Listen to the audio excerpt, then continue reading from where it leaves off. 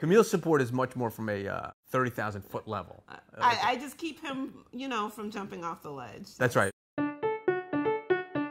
Hi, my name's Alex Barnett. I'm a comic. I live here in New York City. Uh, this is my wife, Camille. We're an interracial couple. We have a son who's now six, who's biracial.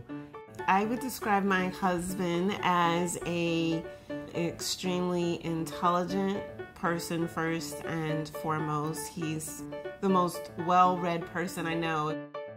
When I started doing comedy, what I really liked was it was a chance to write your own material, but then act it out and get that sort of instant feedback.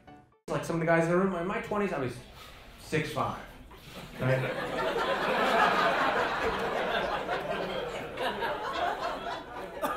and black, right? If you've ever been on stage, you know it's very addictive. It's like it's an adrenaline rush, even when it's bad. But people still can't seem to get their arms around, like, how is this black woman with this white guy, and there's, there's this complicated backstory? Like, she's an R&B singer, and I'm her agent. And... keep up, people, keep up. Come on, let's go. I started doing it more and more, and really, really took to it. I always thought he was funny, so, you know, it was my pleasure to support him in that endeavor. But now that he's more established, honestly, I haven't seen him perform in years. I'm kind of ashamed to say. Um, how funny is Alex at home? Not at all. For a comedian. I created a platform called Multiracial Media where we showcase the voices of the multiracial community, mostly through artistic expression, but also through news articles and, and so forth, and video. The podcast, Multiracial Family Man, that one I started actually first, before the website, as a way of connecting to the multiracial communities uh, when I was home, because I couldn't necessarily be out every night performing the way I had been before our son was born. I just started by interviewing people who were either themselves multiracial or whose work had some implication for the multiracial community. I just think it's admirable that he's so proud to be in a multiracial relationship that he extends that pride by embracing through his podcast and the website. I don't think we've experienced any negative backlash as a couple. I, I can't recall anything really.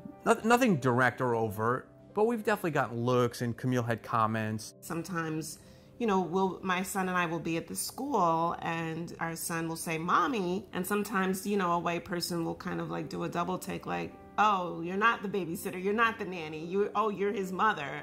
I don't think he's really fully aware of race as a social issue. I mean, I think he's clearly aware that his parents have different skin colors, and he's brought that up a couple of times. Fortunately for us, we haven't had an experience where he's been the, the target of any racism, or either directly toward him or indirectly toward us. The fact that we expose him to both sides of his family really helps him to understand that he's maybe a little bit more complex than than his friends that are just black or, or just white. I don't want him to pick. I, I want him to identify himself as biracial. I do care. I want him to be proud of everything he is. So I wouldn't want him to pick one or another because he's not proud of one part of his heritage.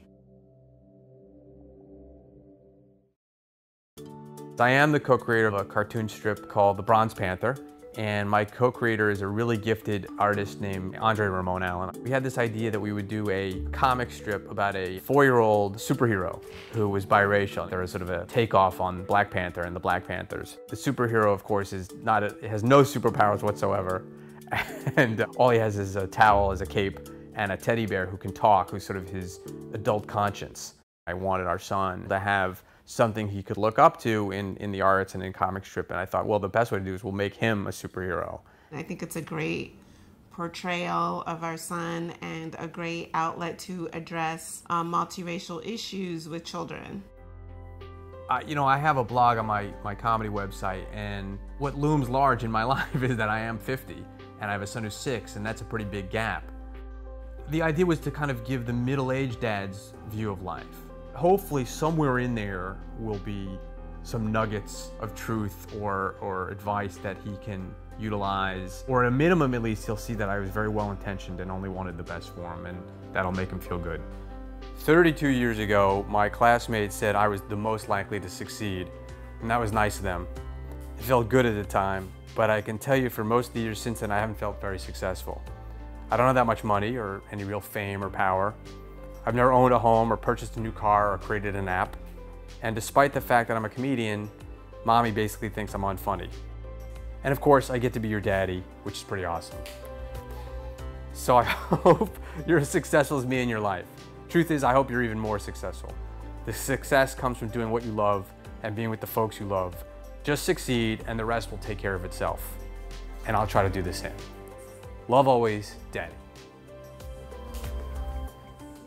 I guess it would be nice for him, you know, later in life to to go back and look at it, kind of like immortalizing your thoughts as they're happening as he's growing. Yes, in So, real time. That's yes. a nice way of putting it. Yes, Especially that's for somebody who doesn't read my work.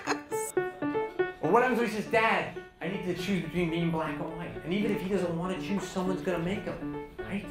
And that somebody is me. No, here's why. Because we're struggling financially, okay? So when it's time for him to go to college, when that financial aid form comes, I'll be like, you check that box marked black.